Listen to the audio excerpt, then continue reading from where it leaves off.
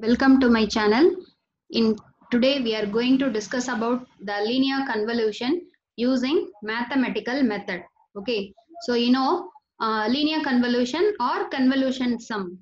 Okay, so the convolution sum uh, we can perform using either uh, there are so many methods are there. Okay, in the previous video we discussed you know uh, in the tabulation method we performed the linear convolution uh, then graphical method is there, uh, mathematical method is there, multiplication method is there.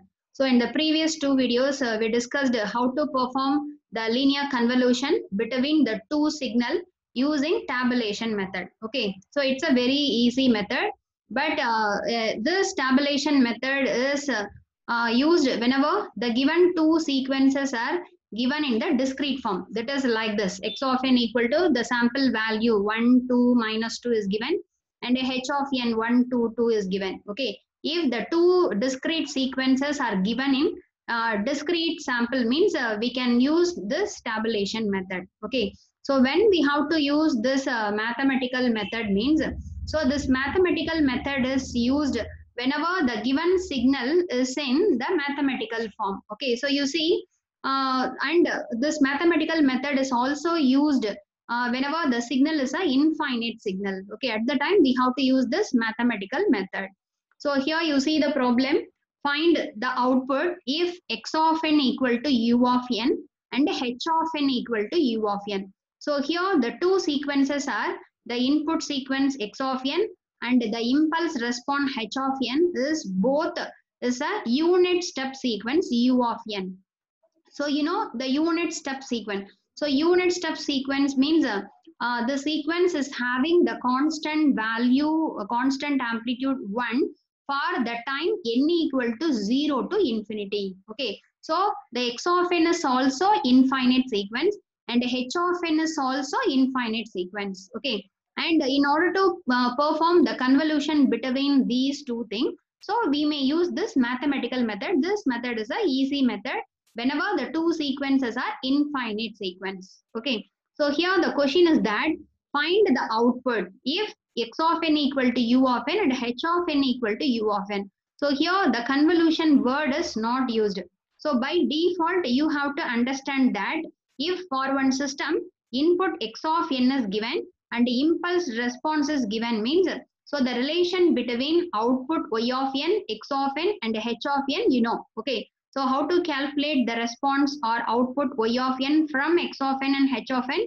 The y of n is nothing but it's a convolution process between the input signal x of n and uh, the impulse response h of n. Okay, so this is, uh, you know, so by default, in order to find the output, whenever the input x of n and h of n is given means, so we have to take the convolution sum. Okay, and already you know the formula uh, in order to perform this convolution sum. So what is the convolution between any two sequences? The formula is that summation k equal to minus infinity to infinity x of k h of n minus k. Okay, so this is the formula over the limit uh, summation limit k equal to minus infinity to infinity.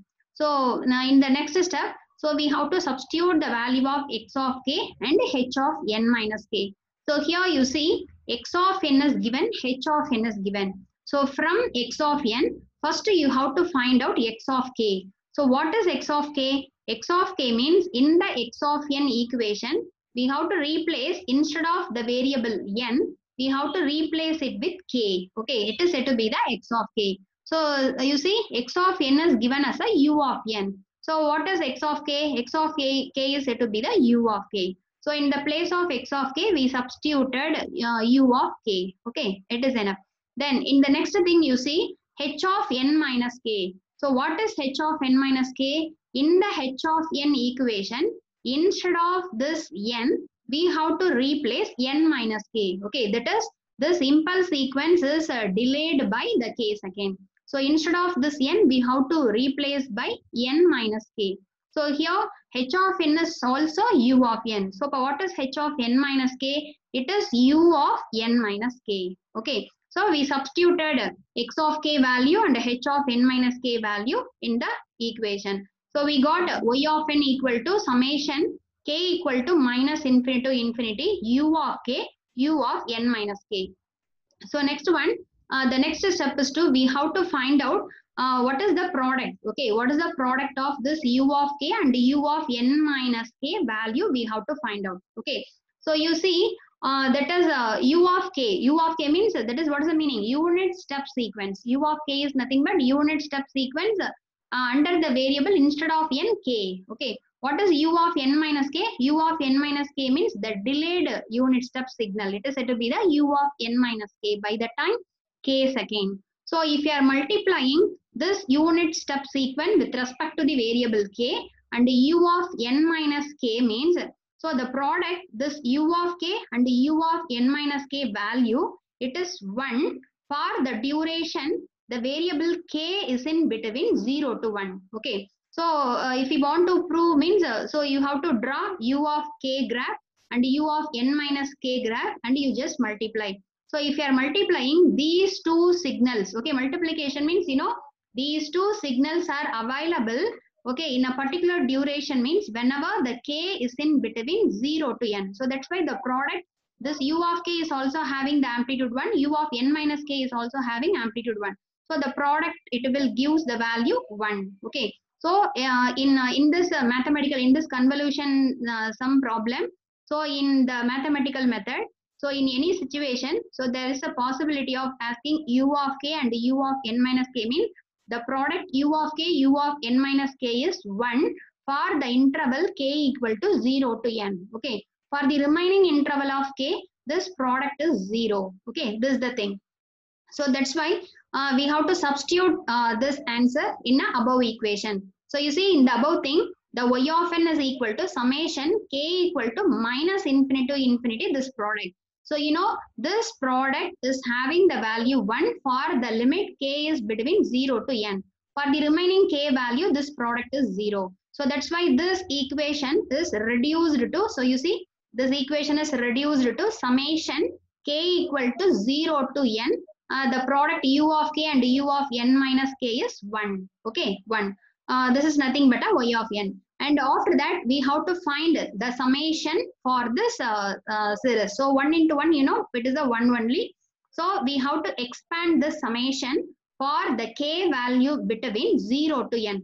So what is the meaning? So in this term there is no k term. Okay there is no k term. So uh, we have to that is for k equal to 0 this answer is 1 plus for k equal to 1 again 1 up to k equal to n this 1 okay so this summation it is expanded as 1 plus 1 plus 1 plus etc up to k equal to n times. That is k equal to 0 to k equal to n time. We have to add 1 okay.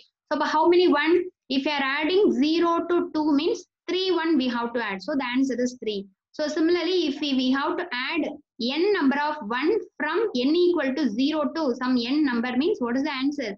So we will get n plus 1 1 okay. So this is the answer so our output of this given system y of n is equal to n plus 1. Okay, so n plus 1 uh, whenever this uh, n value is greater than or equal to 0 only.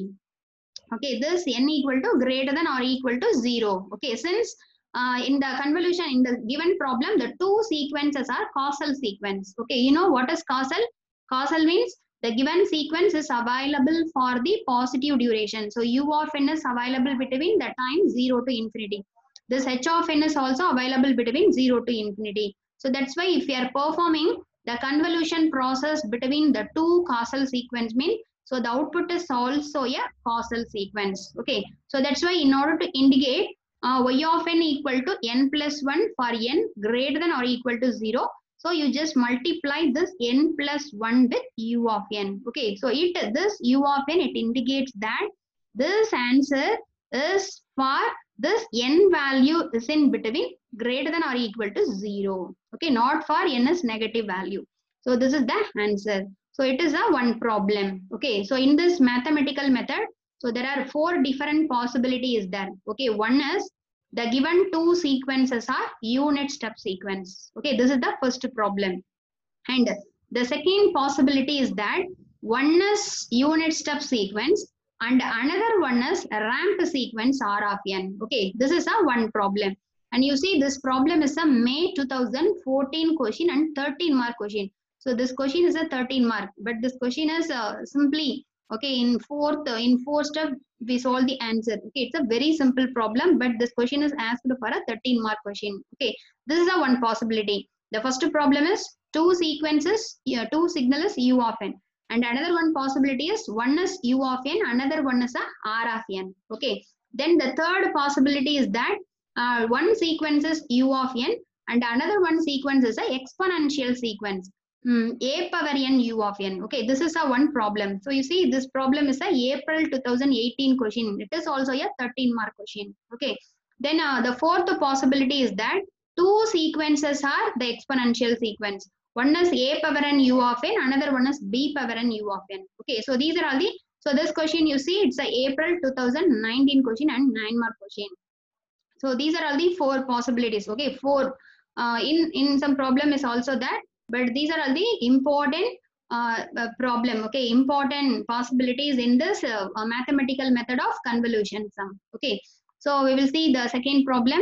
Find the output if x of n equal to r of n and h of n equal to u of n okay? So if you are using uh, in order to find out the output uh, for this problem if you are using the tabulation method means so in tabulation method you know so in tabulation method we have to write x of n in one side h of n in one side okay so here the x of n is 1 1 1 up to infinity we have to write 1 similarly the h of n is also we have to write 1 1 1 okay so the infinite data we will get okay so that's why instead of the tabulation method we are using this mathematical method if the given sequences are infinite sequence okay so here so first you have to write uh, what is the x of n? x of n is the r of n. So you know r of n. What is r of n?